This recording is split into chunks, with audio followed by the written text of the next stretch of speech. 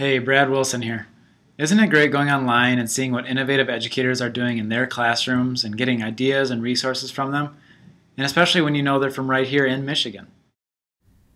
But there's something about being in the same room, asking them questions face to face, that seems to help make changes that much easier.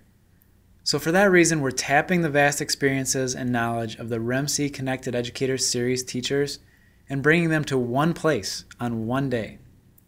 On behalf of Dan Spencer and the Jackson County EdTech team, you're invited to the Connected Educator Unconference.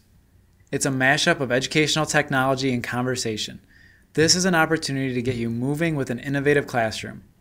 It will be a day of formal and informal active learning experiences alongside and led by CES featured teachers.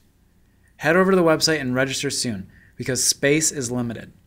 This is going to be a day that will help us all take the next steps with classroom innovation. Can't wait to see you here in Jackson.